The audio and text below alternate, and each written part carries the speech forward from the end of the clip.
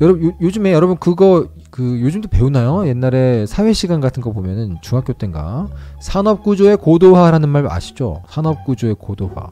말은 뭐 어렵지만 사실 뭐 똑같습니다. 내가 일해서 나만 먹고 산다. 요거 이제 요게 이제 고도화가 정반대 말이죠. 심플하잖아요. 내가 이래서 내가 먹고 산다. 근데 산업 구조가 고도화가 되면요. 쉽게 말하면 중간에 여러 사람이 낍니다. 굉장히 많은 사람들이 끼어요. 큰 의미에서 서로 서로 각자 자기 역할을 하면서 산업 구조가 점점 더 거대화된다는 얘기죠. 어, 만화는 사실은 창작 분야에서는 대표적으로 고도화의 반대 방향이었어요. 영화에 비하면 너무나 심플하잖아요. 그죠? 영화는 수많은 사람들이 협업을 하지 않습니까? 돈 되는 사람이 있고, 제작자가 있고, 스텝이 있고, 배우가 있고. 근데 만화는 솔직히 말하면 생산 구조가 그렇게 복잡하진 않았었어요. 근데 이제 최근에 산업 구조의 고도화가 점점 더 이 웹툰 쪽 산업에도 적용이 되고 있어요. 스튜디오 형식도 그 중에 하나고요. 그러다 보니까 출판 만화 때 글그림 하던 비율에 비해서 웹툰 작가계에서의 글그림 비율이 조금 더 많아진 것 같습니다. 되게 많은 분들이 그 글그림 협업을 하고 있고 실제로 글그림을 협업을 했을 때 나오는 장점과 단점이 명확히 있기 때문에 시장이 커지면 당연히 글그림 협업의 비율은 늘어날 수밖에 없어요. 시장이 작아지게 되면 어느 한, 한 가지 양상의 창작이 늘 수밖에 없는데 시장이 확실히 커지고 있기 때문에 분명히 협업이 늘어나고 있고 그 협업이 단순히 글그림 협업뿐 아니라 스튜디오의 회사 같은 협업도 늘어났고요. 뭐 그런 식입니다. 보통 우리가 근데 어시스턴트와 작가의 관계를 협업이라고 부르지는 않죠. 그거는 그냥 고용 관계라고 부르죠. 근데 이제 글과 그림처럼 창의성을 누구도 의심할 수 없는 두 공정이 만났을 때는 협업이라고 부르는 것 같아요.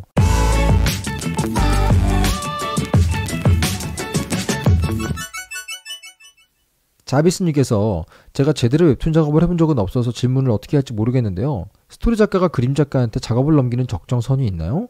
단순히 스토리만 넘기는지 구도 아니 구도까지만 보는지 컷 구성까지 해서 넘겨주는지 이런 얘기 물어보셨습니다. 이건 제가 지금 답을 할 수 있을 것 같아요. 기본적으로 전, 전통적인 의미에서의 글그림 협업에서는요. 스토리 작가, 만화 스토리 작가라고 정확히 말하는 게 full name입니다. 글 작가라고 부르는 것보다는 만화 스토리 작가라고 불러요. 일본 출판 만화계에서는 원작자라는 표현을 쓰지만 한국은 그렇게 쓰진 않고 만화 스토리 작가라고 쓰는데요. 여기서 중요한 부분은요. 수많은 스토리 작가들이 있지만 그 중에서 만화 스토리 작가라는 부분입니다. 다시 말하면 어떤 작품이 처음 머릿속에 구상을 하다가 만화로 나왔어요. 중간에 수많은 공정이 있죠. 어느 공정부터 빼박 만화라고 불릴까요? 바로 콘티죠, 콘티. 즉 콘티라는 형식이 들어가는 순간 빼박 만화입니다. 콘티 전 단계까지는요. 만화를 위해 썼어도 연극으로 만들 수도 있고요. 그죠? 수많은 방향으로 뻗어나갈 수가 있는 형태라고 한다면 다시 말하면 신생아의 그 포배기 낭배기 하는 그 세포 분열 단계라고 뭐든지 될 수 있는 거야. 근데 콘티가 들어가는 순간부터는 빼박 이건 만화 스토리 작가의 영역이거든요. 다시 말하면 글그림 협업에서 전통적인 의미에서는 콘티까지 짜는 것이 만화 스토리 작가의 원래의 그 업무 영역이었어요. 그런데 그림 작가가 나 콘티 짜는 게 제일 재밌는데 나는 콘티 내가 짜고 싶은데 내가 그릴 거니까 내가 콘티의 구도와 여러 가지 것들을 좀 내 내 뜻대로 좀 하고 싶은데 라고 얘기를 해서 콘티를 그림 작가가 짜는 경우도 있어요. 적은 게 아니고 꽤 있습니다. 그거는 그 둘 사이에서 협 이렇게 충분히 협의와 합의를 할 수 있는 부분이에요. 그리고 콘티를 스토리 작가가 짜냐 그림 작가가 짜냐에 따라서 당연히 뭐 수익 배분율이 달라지기도 하고요. 잠깐만요. 왔나 보다 얘. 룰루랄라. 가끔 가다가 초기에 어, 다른 분야에서 일하시던 분들이 네. 자기 이야기 많이 짜봤으니까 그렇죠. 웹툰 그 까이 건뭐 그냥 짜가지고 주면 되겠지 그리고 쉽게 들어와가지고 굉장히 많죠. 네. 대충 짜요. 네. 자기가 짜던 방식으로 짭니다. 음. 대사 이 엄청 많고 그냥 던집니다. 자 웹툰으로 만들어 보아. 그런 경우에 많은 협업 관계가 파투가 났죠. 그렇죠. 그건 이제 협업이기 때문에 양쪽 다 만화란 형식에 대한 이해가 굉장히 중요한데 한쪽이 그게 이해가 좀 없으면 문제가 되는 거죠. 근데 이제 뭐 구독까지 보고 컷 구성까지 요렇게 공, 되게 자세하게 나누진 않아요. 콘티를 글 작가가 짜냐 아니냐 음. 이런 거 차이고요. 어 선혜님께서 글 작가 포지션인데요. 네. 어시는 어떻게 비용 처리를 해, 해야 되나요? 이제 그게 사실 협업도 다 case by case이기는 한데요. 일반적으로 혹, 전, 혹은 전통적으로 나누는 방식을 먼저 말씀을 드리자면은 네네. 많은 작가님들이 사용하고 있는 방식이 이제 그 웹툰 작가의 그 수익 체계에 대해서 먼저 생각을 하셔야 되는데 일반적으로 원고료 혹은 MG가 있고 그렇죠? 그리고 미리, 미리 보기 수익 혹은 뭐 유료 수익 RS라고 부르는 그 수익 기타 수익 등이 있습니다. 그러면 보통 참고로 RS는 그 revenue share라고 해서 말 그대로 수익, 수익 share입니다. 수익 share. 어 네이버 웹툰 기준으로 말씀을 드리자면 음. 네이버 웹툰은 이제 MG가 아니라 원고료를 주고 음, 있으니까 그렇죠. 원고료와 미리 보기 수익 그리고 광고료 등등이 들어오는데요. 그렇죠. 그 미리 작가님들이 협업을 하실 때 협의를 하셔야 돼요. 먼저. 그래서 사전 협의 중요합니다. 그렇죠. 그거를 다 정확하게 나누셔야 돼요. 그러니까 뭐냐면 원고료는 몇 대 몇으로 나눌 것인지, 그렇죠. 혹은 그리고 이제 그 다음에는 미리 보기와 광고료 등 기타 수익은 몇 대 몇으로 나눌 것인지, 그렇죠. 그리고 또 한 가지 이게 간과하기 쉬운 부분이 있는데 이게 2차 판권이 판매, 판매가 되거나 해서 다른 형태로의 작품이 나, 나왔을 때 예를 들면 뭐 영상화가 됐다든지 네네네. 혹은 뭐 책이 나왔다든지 등등 그 웹툰 이 팔렸을 때 이외에 다른 수익이 발생했을 때는 어떤 식으로 나눌 건지에 대한 협의가 미리 다 되어 있어야 돼요. 그게 중요합니다. 네. 그리고 이 부분에 대해서는 처음 경험을 해가지고 모르는 경우에는 담당자에게 좀 예, 물어보는 것도 가능은 네. 한데요. 보통은 어떤 식으로 하나요?라고 여쭤보는 것도 괜찮아요. 괜찮아요. 이상한 질문 아니고요. 네네. 보통 그래서 제 주변에서 제일 많이 사용하는 방법은 고정된 어시비가 일단 있다면 처음 3개월 동안 연재를 하는 하는 기간 동안 1차로 테스트를 해보는 경우도 많았어요. 어떻게 하냐면 어시로 나가는 모든 지출을 고려해서 일단 뺍니다. 그 결과 남아 있는 것들을 음. 두 사람 사람 사이의 수익 그 배분하는 율대로 나눠요. 예를 들어서 제일 많이 들을 수 있는 게 7대 3. 그림 작가 7, 스토리 작가 3 정도로 많이 나누곤 했었어요. 이게 이제 제가 말씀드리 때 아까 전통적인 방식을 말씀드리겠다고 말씀드렸는데 그게 지금 이종범 음. 작가님 말씀하신 부분이에요. 그러니까 그렇죠. 어, 그림 작가가 7, 70% 음. 그리고 글 작가가 30%를 30%. 가져가는 7대 3의 비율로 원고료를 나누는 건데요. 원고료를 일단. 네, 여기 이 부분이 중요합니다. 원고료를 보통 7대 3으로 나누고 미리 보기 수익이나 기타 수익은 5대 5로 나누는 경우들이 많아요. 요즘 되게 많죠. 요즘은 그게 거의 표준처럼 음. 되어 있어요. 7대 3으로 원고료를 나누고 꽤나 다른, 네, 다른 꽤나 5대 5로. 네네. 왜, 한... 네네 맞아요. 어. 왜 그러냐면 어. 원고료를 7대 3으로 나누는 관행이 왜 생겼냐면 단순히 이제 그림 작가가 더 갑이기 때문에 70%를 가져가야 한다 이런 건 아니고요. 그렇게 오해하는 분들이 분명 히 계시긴 합니다만. 그래서 지금 이 얘기를 말씀을 네. 드리는 거예요. 그게 아니라 원고료라는 개념 자체가 원고를 만들기 위한 제작비의 개념에 더 가까워요. 그렇죠. 그러다 보니까 글 작가분보다 그림 작가분들이 보통은 화실을 운영하시기 때문에 음흠. 화실을 운영하면 아까 얘기했던 어시, 스텝을 써야 되고 원, 그 화실에 그 나가는 돈들이 있죠. 음흠. 그래서 제작비가 들어가기 때문에 7대 3으로 나누는 경우들이 많아요. 옛날에 그랬죠. 근데 이게 이제 꼭 법칙은 아니에요. 가끔은 음. 이제 뭐 6대 음. 4로 하시고 뭐 다른 부분을 조정하시는 분들도 계시고 지나치게 예를 들면 경력차가 네네네. 신인 그림 작가에 너무 오래 경력을 쌓은 음. 그 스토리 작가가 있다. 그런 경우는 뭐 6대 4로 스토리 작가가 좀 더 가져가기도 하고 네. 5대 5로 가기도 하지만 현실적인 이야기를 하자면 power game이 발생하죠. 약간 있죠. 네. 그때 좀 모양새 좋은 거는 음. 이제 좀 선배 입장에서 나 작품 여러 개 많이 하니까 그래가 좀더 가져가라. 요게 참 모양새가 이쁘지만 음. 뭐다 그런 건 아니니까. 그렇죠. 근데 어쨌든 일반적으로는 그런데 그래서 그럼 이제 70%를 가져가는 그림 작가의 가져가는 원고료 안에서 어시 비용이나 특히 요즘 이제 3D 스케치업을 산다든지 하는 비용도 그쵸, 제작비에 그쵸. 포함이 되잖아요. 다시 말하면 음. 작화에 들어가는 모든 종류의 비용을 그 작화를 맡고 있는 사람이 낸다라는 느낌인 거죠. 네, 그래서 70%를 가져가는 그런 것도 개념이 있잖아. 많죠. 그리고 또 예전에는 연 원고료는 연재 네. 중에 받잖아요. 그렇죠. 연재 중에 받기 때문에 마감이라는 걸 수행하는 맥락에서 받는 게 원고료잖아요. 음. 그 경우에 연재 작가는 마감을 할 때 이거밖에 못 하고 스토리 작가는 맞아요. 가능하면 두 작품을 할 수 있는 경우도 있기 때문에 그런 식으로 자연스럽게 칠삼이 되는 경우도 있었어요. 그렇죠. 그런데 연재와 무관하게 수익 쉐어가 있거나 판권이 팔리거나 하는 경우 자 예를 들면 이런 거죠. 넷플릭스에서 아니면 어디 뭐, 뭐 TVN에서 어떤 웹툰을 보고 어 이거 우리 드라마화 하자라고 했단 말이죠. 네. 그때 PD와 감독과 음, 카메라 감독과 배우가 새로 기용될 거 아니에요. 네네.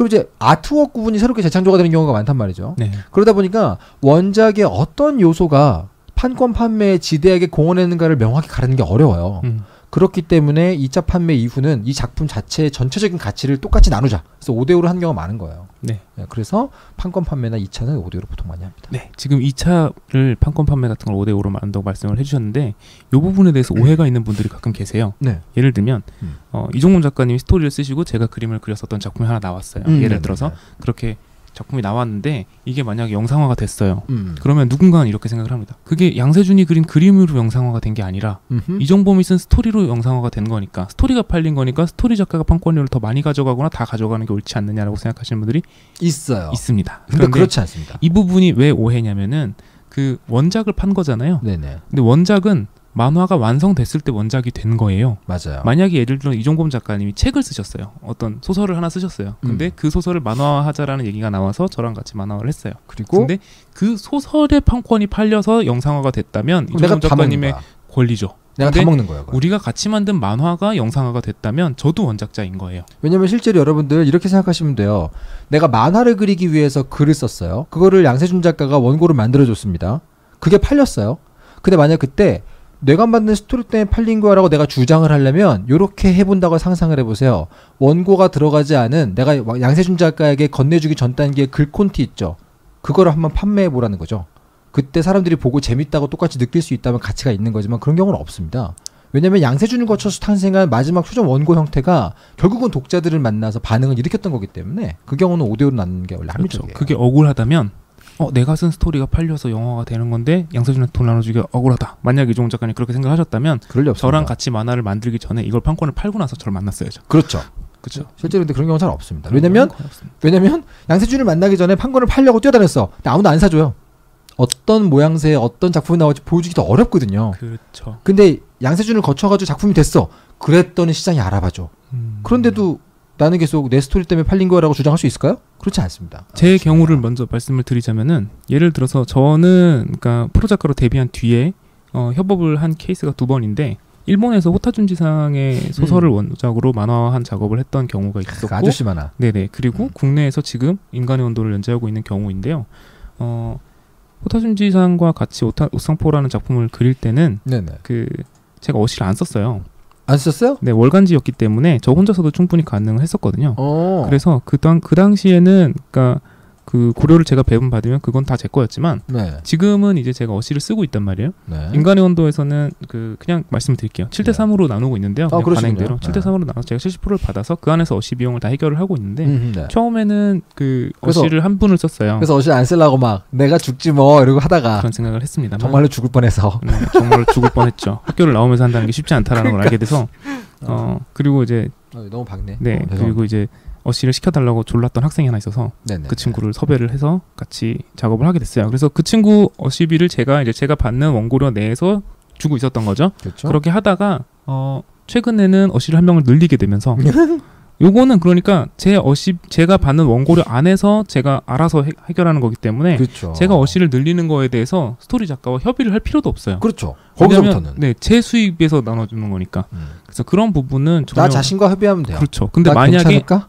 그쵸 그쵸 수입이 줄어드는데 그래도 건강을 돈으로 산다고 생각하면 되지 않을까 아내, 아내분과 협의하셔야죠 그쵸 아내랑은 얘기를 해야 되죠 근데 이제 그게 아니라 어 예를 들어서 아까 말씀드렸던 어떤 특이한 케이스에는 5대 5로 나누는 대신에 뭐 어시 비용은 같이 충당을 한다라는. 식의 케이스라면 어시를 늘리는 거에 대해서 충분한 협, 의가 되어야 되죠 그렇죠 그렇죠 어 콩땅콩님께서 양 작가님께 질문이 있습니다. 네. 지금 협업하시는 그 작가님은 원래 만화 관련 일을 하시던 분은 아닌 걸로 알고 있는데요. 네.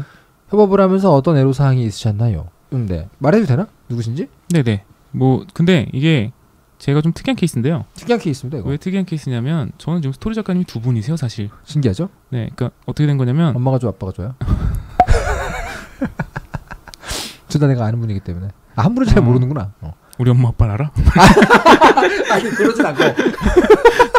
지금 스토리 작가분들이 지금 제 만화의 크레딧을 보시면, 원안 해마, 음. 스토리 이재익 뭐 그림 양세준 뭐 이런 식으로 써 있어요. 그죠 그죠. 그게 이제 원안 해마 작가님이 버그를 쓰, 스토리를 쓰고 계시는 그리고 갓 오브 하이스쿨의 스토리 자문을 맡고 계시는 하셨다. 해마 작가님이신데 지금도 하나요? 네 하고 계세요. 아, 하고 있구나. 그리고 이제 이재익 작가님이 스토리 작가님이신데 지금 말씀하신 그 만화 쪽에 계시던 분이 아닌 스토리 작가님은 아마 이재익 작가님일 거예요. 왜냐면 해마 작가님은 지금 말씀드린 것처럼 다른 웹툰들에 관여를 하고 계시기 때문에 억수 작가님이랑도 같이 승훈이 형 지금은 웹툰 스토리 작가라고 말해도 전혀 부족한 그렇죠. 게 없지만 처음 들어왔을 때 처음 네. 들어왔을 때 이제 저거 그 그거 하셨죠. 그그 그 김창열의 올드스쿨 작 PD. 그렇죠, 그렇죠. 지금 뭐 지금은 아, 뭐 지금은 쉬고 계시지만 어쨌든 라디오 PD님이시죠. 그렇죠, 그렇죠. 그리고 이재익 작가님은 말씀하신 것처럼 웹툰은 이번이 처음이세요. 웹소설을 쇼의 PD였죠. 그렇죠. 어. 라디오 PD로 굉장히 유명하신 분이시고 진짜 유명하지 그리고 어, 소설가로 90년대부터 활동을 하셨던 분이시고 책 무지하게 많이 쓰셨잖아요. 네. 영화 영화 시나리오 많이 쓰셨고 영화도 된 어. 작품들이 있으시고 사실 웹툰 말고 다른 분야의 스토리 다 써보셨잖아요. 스토리텔러로서 굉장히 베테랑이신데 웹툰이 처음이신 거예요. 어마어마하신 분이시 근데 그래서 해마 작가님이 함께 작업을 하시면서 그그 음. 그 완충을 해주고 계세요. 음. 그러니까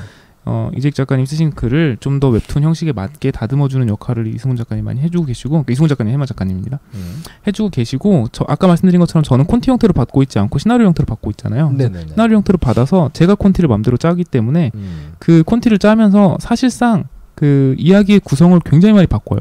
음, 이거는 그 작가님들과 제가 협의가 돼 있는 상황이에요. 음, 왜냐하면 그분들은 아까 말씀드린 말씀하신 것처럼 영화 시나리오를 많이 쓰셨던 분이시기 때문에 영화 시나리오의 경우는 이 내가 스토리, 스토리를 쓰지만 감독이 어떻게 요리할지 어떻게 편집할지는 감독의 역량 역할이라는 그렇죠. 개념이 정, 정립이 돼 있잖아요. 그렇죠, 그렇죠, 마찬가지 개념을 가지고 가지고 저랑 일을 하고 계시는 거라서 그쪽에서 일하시던 분이라서. 네, 그래서 저한테 그렇게 말씀하셨어요. 난 네가 감독이라고 생각하기 때문에 네가 연출 맘대로 해도 되고 좋다. 그 연출의 영역에는 어떻게 보면 스토리에서 떨궈낼 부분을 떨궈내고 음. 순서를 바꾸고 하는 부분도 포함이 돼 있잖아요. 근데 연재 형식이기 때문에 약간 과하게 가면 안 되잖아요. 그렇죠.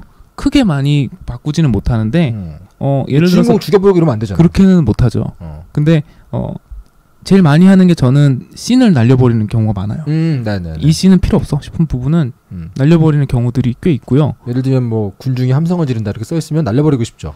그런 건 날려버리고 싶지만 날려버리기 어렵죠. 어, 근데 네. 자주 날려버리는 부, 분이 어디냐면 음. 이동 씬. 어, 네. 이동 씬은 영화에서는 다 나오는 경우들이 많아요. 그 그치. 차로 이동한다든지 뭐 음. 오토바이로 이동을 한다든지 이동하는 씬들이 나오고 이동하면서 대화를 나누는 경우들도 꽤 있는데 꽤 웹툰에서는 조금 그 부분이 루즈해질 수 있어서 맞아, 제 맞아. 경우에는 가자라는 장면 다음에 도착해 뭐 있는 경우들이 많거든요. 음흠. 근데 이제 어, 상황에 따라 다르긴 합니다만 그런 부분들은 이제 웹툰에서 맞지 않다 싶은 부분들은 제가 탈락시키기도 하고. 근데 이런 부분들은 진짜 협의가 잘 되어야 돼요. 네, 양세준 작가는 그렇게 한다던데라고 하면서 자기가 스토리 작가님하고 일할 때 똑같은 방식으로 취했을 때 스토리 작가님 화내실 수도 있습니다. 있습니다. 이거는 협의가 안 되면 소통이 충분히 안 된 상태에서 내가 손을 좀 댔을 때 어떤 스토리 작가는 그냥 그림 그냥 작업 놔버릴 수도 있어요. 네. 내 스토리 영역에 침범했다 함부로 바꿨다 나 그 다음 거 안 쓸 거야! 이래버리면 이제 그때부터는 소통 부재로 인한 재난이 네. 벌어지는 맞아요. 거죠. 그러니까 저희 저랑 제 파트너인 이재익 작가님의 상황에서는 이재익 작가님이 스토리텔러로서 굉장히 베테랑이시지만 굉장히 겸손하시게 나는 만화에 대해서는 문외한이니까 아, 그렇죠. 그쪽에 대해서는 네가 하는 게 맞아라고 다 저한테 이름을 해주셨고 저도 그게 편하기 때문에 저 제가 마음대로 편, 연출을 편집을 하면서 하고 있는 거죠. 재밌는 게 뭔지 아세요, 여러분? 협, 협업에 대한 얘기를 많이 하면 할수록 느끼는 건 일단 기본적으로 괜찮은 사람한테는 괜찮은 사람이 많이 붙어요. 다 그렇지는 않지만 어 가끔 굉장히 괜찮은 분이 굉장히 안 괜찮은 분을 만나서 고생하시는 분 경우도 한부 한두 번은 그럴 수 있어. 간혹은 있죠. 그러니까 한두 번은 그럴 수 있어. 근데 결국 몇 번 반복하다 아, 그쵸, 보면 그쵸. 평균율로 가잖아요. 맞아요. 네. 누군가가 나타나서 나는 맨날 이상한 사람만 만나라고 말하면 그, 쓸사람 자신을 돌아볼 때가 된 거죠. 어, 자신을 돌아볼 필요가 있습니다. 그 사람은 살짝 잘 보세요. 네.